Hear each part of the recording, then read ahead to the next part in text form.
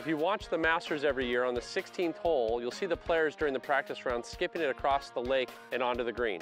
It's really a fun shot to mess around with, and every once in a while, you may have something going on with your group, maybe you got to settle a bet, and this is a great way to do it. Now, there's not a lot of practical use for this shot. Normally, in this situation, I would just take a wedge and I'd knock it up onto the green, but we want to show off on this shot. So we're going to hit a four iron here, and with the four iron, I'm trying to land the ball about three quarters of the way across the lake, take one or two bounces and get to the other side.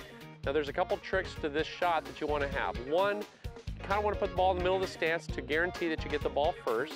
The second is I want to hit down on it to get the ball to go low. And then finally, I want to cut across it just a little bit, create a little bit of a cut or a slice spin. That'll help it skip off the water and get to the other side. So again, it's a great way to settle a bet. Not a practical shot, but this is a show-off shot. And if you pull it off in front of your friends, you'll be a hero.